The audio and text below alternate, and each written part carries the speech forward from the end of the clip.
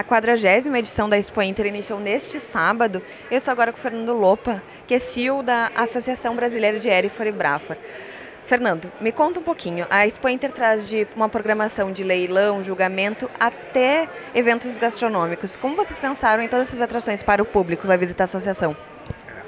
Como a gente tem toda aquela produção e a gente não tinha essa parte gastronômica. Para mostrar ao produtor o que estava, como estava sendo utilizado aquilo que ele está trabalhando e está produzindo com tanto carinho no campo.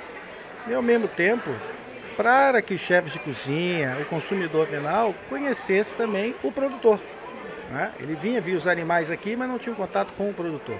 Então nós iniciamos há três anos essa série de eventos gastronômicos aqui no stand, e, praticamente todos os dias temos diversos chefes de cozinha, os ogros da Ana Maria Baga, o Marcos Live, a Batalha do Hambúrguer que nós estamos fazendo agora com cinco chefes de cozinha, fazendo hambúrguer, mais cinco chefes de jurado, né? e eles vêm por espontânea vontade participar do evento, para que é, eles conheçam a excelência do que está sendo produzido, a excelência da certificação aérea é, dentro dos frigoríficos e também conheçam o produtor. E o produtor se sinta orgulhoso de ver o que ele está sendo produzido, sendo tão bem tratado e sendo bem é, divulgado e sendo muito elogiado por quem consome.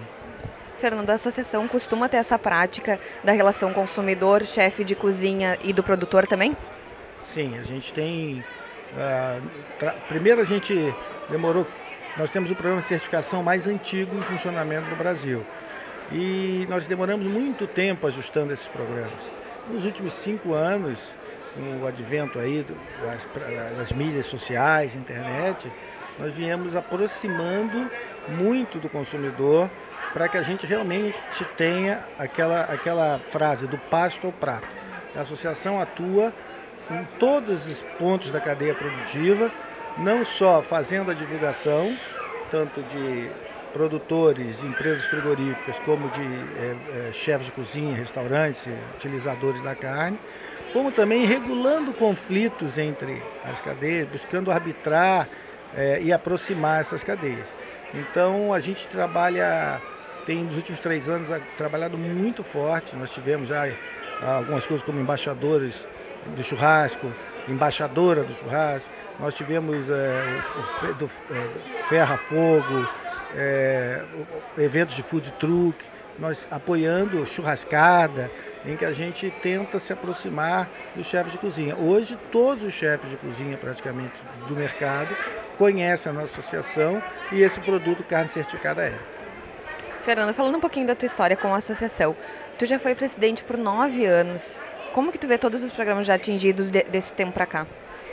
É, a gente, em, em 2006, eu entrei para implantar uma nova administração, uma administração mais moderna, mais jovem, né? Eu assumi a associação com 40 anos, né? bem, bem mais novo do que normalmente tem os presidentes de associações, uma associação que é fundada em 1958, tradicionalista, é, mas sempre inovadora. Né? Tenho artigos que eu escrevi, porque eu vim de fora olhando como ela, ela tem a tradição, mas também como ela é inovadora, visto aí o programa de carne, que foi o primeiro e que até hoje está em funcionamento. Então, a associação, a gente planejou alguns projetos e como a intensificação de provas de avaliação a campo, programas de melhoramento genético, é, aumento das exposições ranqueadas e, e, e oficializadas, remates oficiais, uma série de coisas que nós montamos, as nossas revistas informativas, nossos anuários, começamos o anuário em 2009, para quê? Para registrar a história dos nossos associados.